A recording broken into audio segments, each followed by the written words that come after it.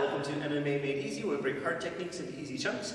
Today we're going to be looking at a fake uppercut into a side elbow. This is a really good strike to throw uh, from inside a clinch, especially if you are a fan of dirty boxing, where you're kind of holding their head down and kind of hitting them on the sides and kind of mixing it up uh, with knees and hooks and things like that. So I'm just going to get uh, my loyal assistant here. So I'm here, say I'm throwing a few knees, and then I come in here, and I throw, say, like maybe a hook or something. Bang. What do they do when you throw the hook? They bring that hand up to stop you, right? What do you do? They, they, you throw the uppercut, bang. What do they do? They drop it down uh, to stop you again.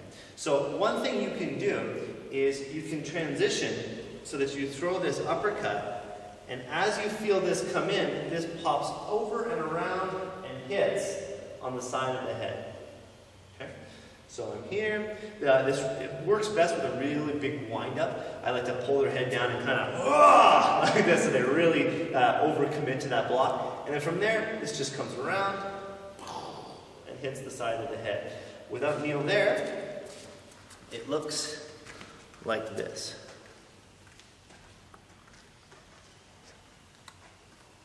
You'll notice it's kind of curving. It's not going one, two it's going bong, like this. They are coming in and, and, capping the uppercut or stopping it. This does not work against the interception block. This would be somebody capping an uppercut, more of a boxing defense.